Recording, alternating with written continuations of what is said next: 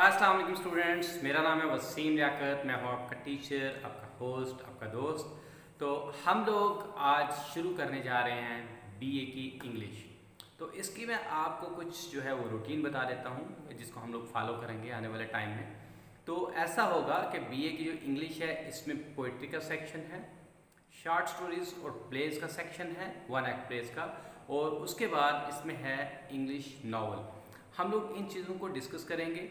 तो ग्रेजुअली हम लोग इनको साथ लेके चलते रहेंगे। तो सबसे पहले हम लोग स्टार्ट करेंगे a new anthology of English words से। मतलब जो पोइट्री का सेक्शन है, हम लोग वहाँ से स्टार्ट करेंगे। इसकी रूटीन ये होगी पोइट्री के सेक्शन में। बाकी स्टोरीज बाकी जो सब्जेक्ट हैं, जब जब जब जब उनका ज़िक्र होगा, जब जब वो स्टार्ट किए जाएँगे तो मैं आपको बता दूँगा कि उनकी रूटीन क्या रहेगी। तो अभी हम लोग फ़िलहाल स्टार्ट करने जा रहे हैं पोइट्री तो पोइट्री के बारे में आपको ये बता दूँ कि सबसे पहले पोइट्री में हम लोग पोएम जो है उसकी ट्रांसलेशन करेंगे। मीन्स के मैं आपको सादा इंग्लिश में मैं पोएम आपको समझाने की कोशिश करूँगा और उसके साथ साथ थोड़ा सा इसको एलेबोरेट करूँगा एक्सप्लेन करूँगा। इसके बाद क्या होगा? मैं आपको जो राइटर है, जो पोइट है, उसका थोड़ा सा इंट्रोडक्शन कराऊँगा। उसका जो नोटेबल वर्क है, उसके बारे में आपको बताऊँगा। उसके बाद जो अगला स्टेप है वो ये है, मैं आपको लेके चलूँगा उन क्वेश्चंस और आंसर की तरफ़ जो कि एक्सपेक्टेड हैं बोर्ड में आ सकते हैं।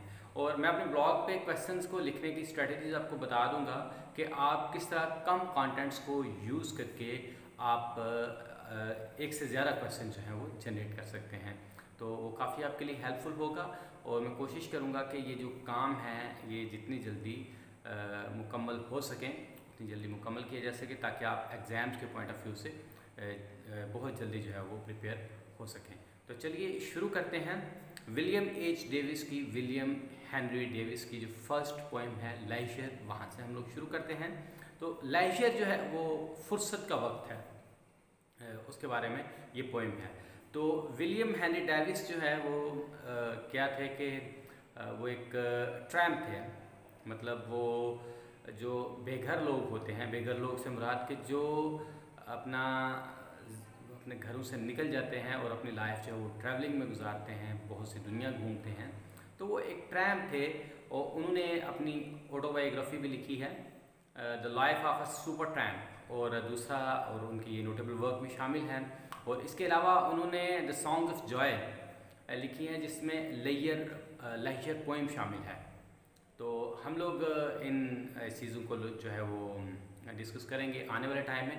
तो फ़िलहाल जो है लेजर जो है इसको हम लोग सिंपल ट्रांसलेशन जो है वो हम लोग करने की कोशिश करते हैं। और मैं थोड़ा सा आपको एक्सप्लेन करूँगा कि what does the poet want to say what is this life full of care we have no time to stand and stare ज़िंदगी क्या है?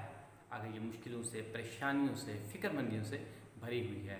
We have no time to stand and stare हमारे पास इतना वक्त नहीं है कि हम लोग रुकें इस लाइफ को एंजॉय करने के लिए और जो लाइफ में नेचर में ब्यूटी है, उसको देखने के लिए स्टेयर करने के लिए, उसको रुक के देखें कि ये ब्यूटी जो है वो कितनी ज़्यादा है और हमारे इर्द गिर्द है। हम लोग इसको समेट नहीं सकते हैं। तो हमारे पास ये टाइम नहीं है, बस ज़िंदगी की दौड़ लगी हुई है। आगे बढ़ना है, आगे बढ़ना है, आगे बढ़ के जाना कहाँ है? वही we don't have the set destination कि हमारे पास कोई एक मंजिल नहीं है कि जहाँ हमने पहुँचना है, बस आगे बढ़ना है, आगे बढ़ने की दौड़ में।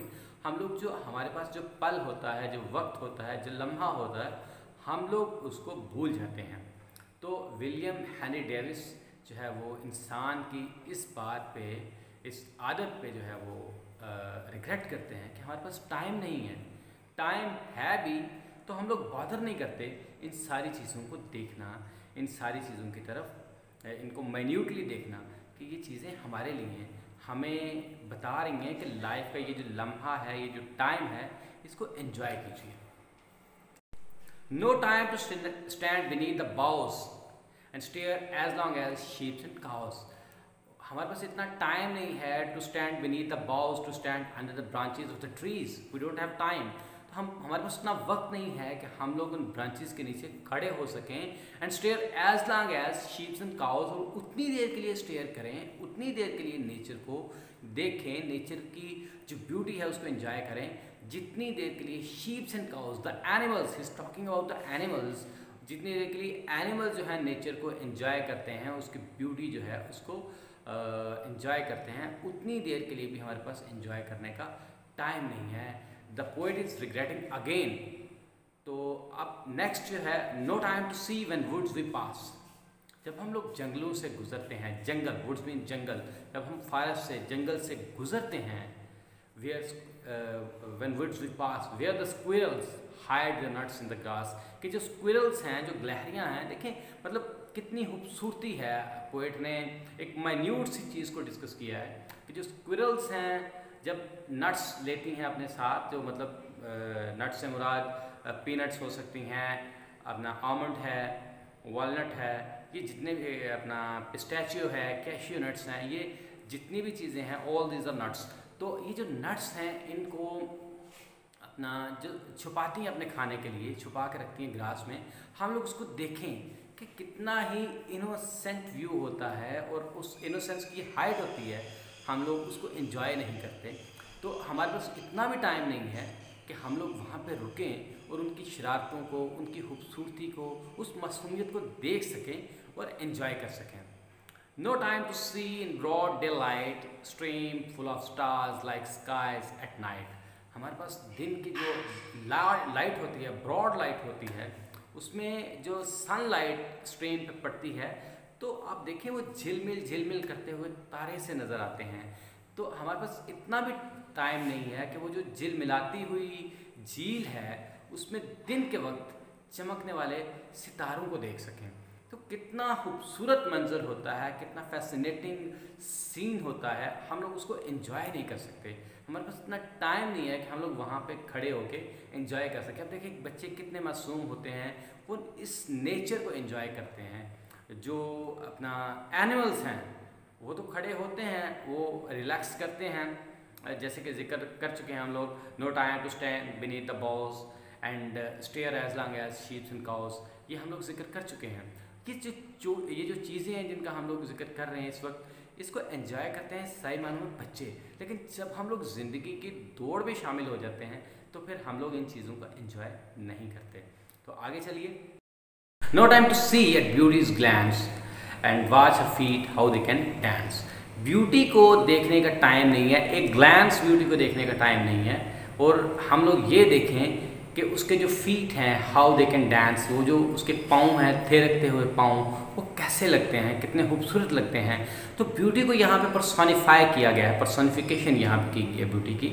मतलब परसोनिफाई किया गया है एक खूबसूरत लड़की में, ठीक है? मतलब ब्यूटी एज इट इज़ मतलब इट्स जो कोई चीज़ है तो नहीं है कि ब्यूटी जो है हम लोग कह सकें कि beauty is found in everything मतलब हर चीज़ में ब्यूटी होती है। मतलब ब्यूटी तो देखने वाले की आँख में होती है, जो उसे हर चीज़ में नज़र आती है। तो जो हर ऑब्जेक्ट है वो खूबसूरत है। हर हर ऑब्जेक्ट खूबसूरत है। नेचर में खूबसूरती ही खूबसूरती है ब्यूटी ही ब्यूटी है but here the beauty means specifically beauty को यहाँ पे किस चीज़ के तौर पे प्रेजेंट किया गया है? एक गर्ल के तौर पे। एक गर्ल को ब्यूटी के तौर पे हम लोगों ने यहाँ पे, उसने पोइट ने यहाँ पे रिप्रेजेंट किया है कि हम लोग उसकी तरफ़ देख सकें कि जब वो डांस करती है तो कितनी खूबसूरत लगती है।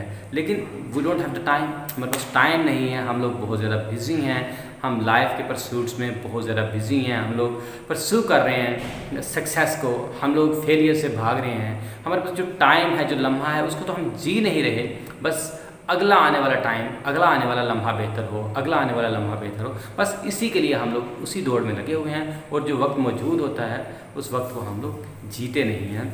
तो चलिए आगे बढ़ते हैं। No time to wait till mouth till her mouth can enrich that smile her eyes began हमारे पास वक्त नहीं है मुस्कुराहट को देखने का।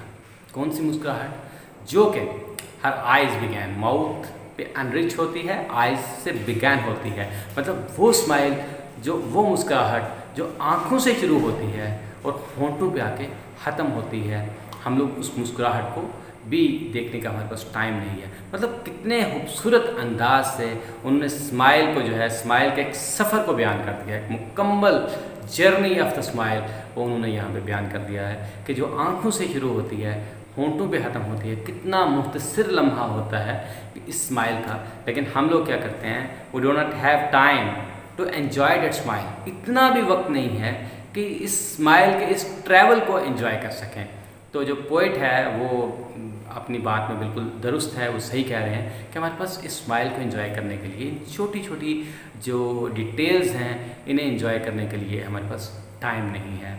अब poor life is full of care अगर ज़िंदगी ऐसी ही है मतलब केयर से वरी से, परेशानियों से भरी हुई है तो ये बहुत पुअर है, बेचारी है। मतलब हम लोग कहें ना कि that we are successful with this life तो no this life is poor ये जो ज़िंदगी है, ये बेचारी है, ये लाचार है, ये बेबस है, ये अच्छी नहीं है, ये फुल ऑफ़ केयर अगर ये ऐसी परेशानियों से भरी हुई है, हम मौजूदा लम्हा जो है उसको जीते नहीं हैं तो फिर ज़िंदगी अच्छी नहीं है। We have no time to stand and stare हमारे पास टाइम नहीं है। रुकें एंड स्टेयर और इन्जॉय करें स्टेयर करें, देखें चीज़ों को। तो ये हो गया आज की पॉइंट आने वाले टाइम में, आने वाली वीडियो में मैं कोशिश करूँगा कि आपको विलियम एस डेविस का थोड़ा सा इंट्रोडक्शन करवा दूँ, उनका जो नोटेबल वर्क है उसके बारे में बता दूँ और अगली ही वीडियो में मैं कोशिश करूँगा कि आपको क्वेश्चंस बता दूँ जो एक्सपेक्टेड हैं यूनिवर्सिटी के एग्ज़ाम में।